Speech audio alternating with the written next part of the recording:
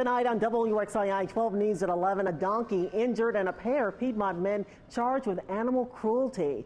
The details are disturbing. Officers say bloody hoof prints were found on the road. William Tugman and Morris Huggins were arrested and charged after police say they admitted to using a vehicle to pull the donkey down the road. It happened around Elk Creek Darby Road in Wilkes County. The donkey, who officials have named Steve, was found suffering injuries on the back of his legs and his hooves were worn down. He's being treated and is expected to make a full recovery.